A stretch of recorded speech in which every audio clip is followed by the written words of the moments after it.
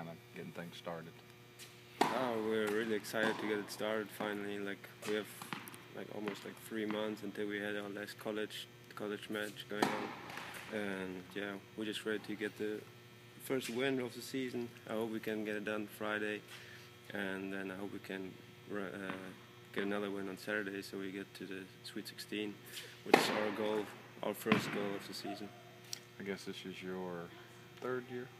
Year? It's my senior year. Yeah, so, fourth year. Yeah. So, uh, just talk about being able. This time of year seems to be the most exciting time with team matches and the fans getting excited. And just talk about uh, a little bit about looking forward to that. I'm so looking forward forward to it. Uh, I already when I got back over Christmas, I already couldn't wait to get the season started. So I just wanted to keep playing and keep practicing and just getting better every day. And now I'm just looking forward and ready to start the season. Although this is not an SEC event, uh, you know this tournament, you get the SEC play later. Y'all picked to win the conference and overall, and just talking about your uh, uh, thoughts on the team as a whole and how good y'all can be. Uh, we can be as good as we want to be. Like it's in our hands.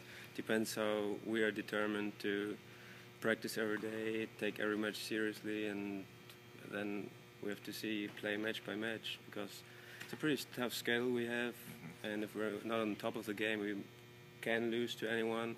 But we, if we do our things and if we work hard, we should win most of our matches. You're right, fifth in the country right now. Just talk about that. Do you look at those rankings a lot, or you just try to continue to get better and beat the next guy you play? Uh, it's just a great achievement. Just shows that I'm working hard and stuff. But to be honest, if I could change my singles ranking with my team ranking, I, I would do it any day. So um, I hope that by the end of the, the year, maybe we can be in, in the top five or something.